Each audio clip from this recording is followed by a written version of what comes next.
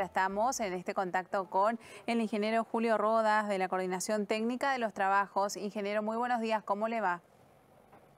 Muy buenos días para usted y a su audiencia. Bueno, gracias por atendernos, ingeniero. Queremos saber cómo se están llevando adelante los trabajos para la planta de tratamiento de aguas residuales, específicamente en San Lorenzo.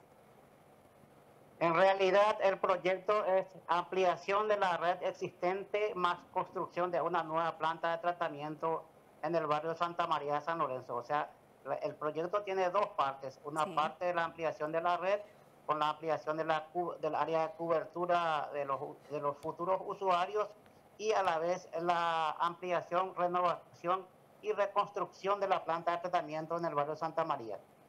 Perfecto. Bueno, esto eh, cuándo ya está ya está activo, ¿cuándo comienza? Está en etapa constructiva y terminaría de construirse a mediados del año próximo, porque una parte es construcción de obras civiles, que es la parte de hormigonado que tiene alrededor del 65% de avance, y otra es el equipamiento electromecánico, o sea, los equipos, motores, etcétera, para el tratamiento de los efluentes. Y todo lleva su tiempo y su proceso porque son equipos importados de, Europa, entonces no, no, no, es tan rápido como quisiéramos. Claro. Aproximadamente entre pedido y la recepción en obra pasarían seis meses. Okay. O sea que pensamos que terminaría a mediados del año próximo y eh, la obra en sí y empezaría la siguiente etapa que es la conectividad al sistema de usuarios nuevos. le, le, consulto, ingeniero, esta es la primera eh, planta de tratamiento de aguas residuales eh, ubicada en San Lorenzo.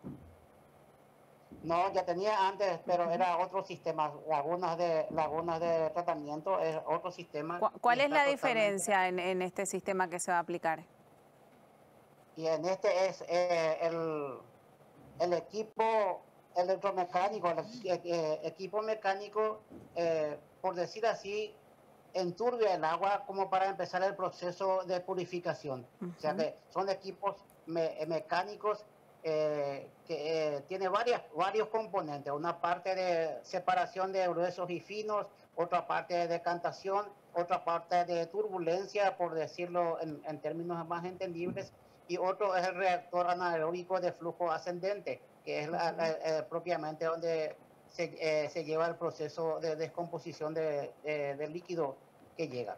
Y todo el equipamiento estaría listo a, a mediados del próximo año como para empezar la siguiente etapa que es la conectividad a nuevos usuarios.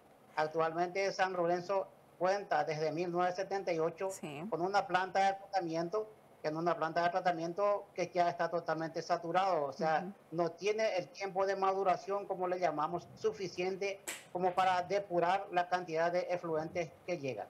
Ok, perfecto. Bueno, estamos hablando de una inversión aproximada, ingeniero. 156 mil millones de guaraníes es el costo inicial de la obra.